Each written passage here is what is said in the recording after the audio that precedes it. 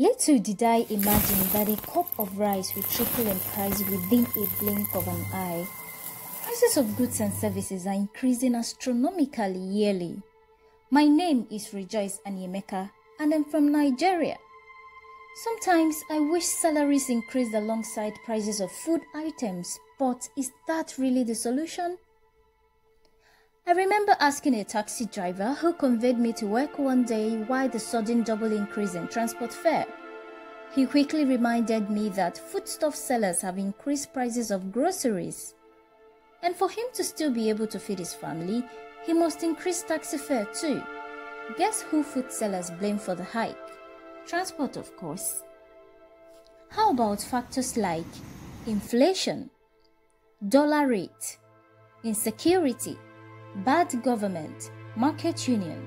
Now, the market union are people who control prices of different products in the market on arrival, and they won't fix outrageous prices if controlled by the government.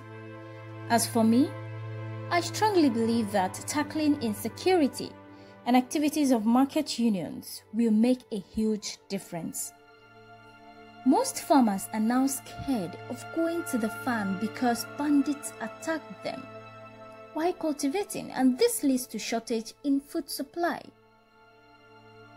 Nigeria is no doubt a blessed country with rich mineral resources like petroleum, tin, iron ore, coal, limestone, niobium, lead, zinc, gold, and arable land for agriculture, such that when the government rechannels its energy towards production and exportations, instead of importation.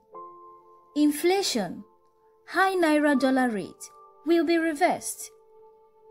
This is a challenging time, not just for my country, Nigeria, but for nations across the globe.